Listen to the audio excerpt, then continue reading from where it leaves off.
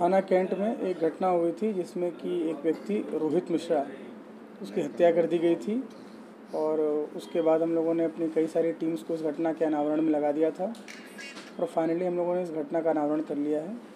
और घटना कुछ इस प्रकार से हुई थी कि ये रोहित मिश्रा, इसकी एक बहन है, सौतेली बहन। उसका इसके साथ रिलेशंस थे, रोहित मिश्रा के साथ।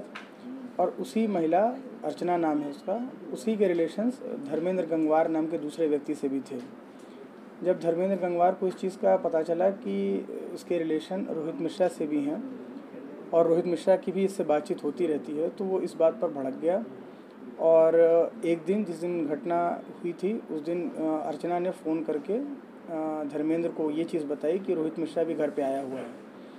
और धर्मेंद्र गंगवार ने पहले से ही इस चीज़ को प्लान कर लिया था कि इसकी हत्या करनी है और वो एक दूसरे व्यक्ति को लेकर वहाँ पहुँचा।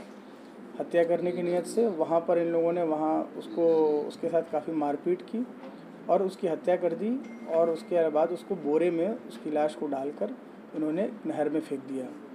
उसके बाद हम लोगों ने लगातार इस चीज़ के बारे में हम लोग प्रयास में लगे हुए थे इस घटना को अनावरण करने में और उसी दौरान मैनुअल टीम्स के माध्यम से भी उसके और सर्वेलेंस के माध्यम से भी हम लोगों ने इस घटना का अनावरण किया है। और आगे जो दो अभियुक्त हैं धर्मेंद्र गंगवार और जो दूसरा व्यक्ति है, उसका भी हम लोग, उसकी भी गिरफ्तारी जल्दी ही सुनिश्चित कर लेंगे।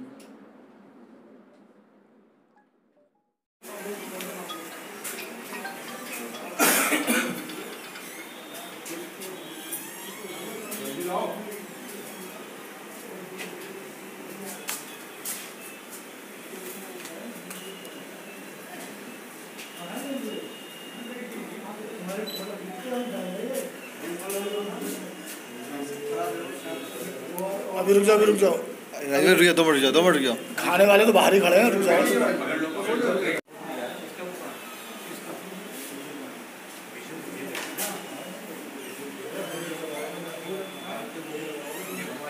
ले जाइए।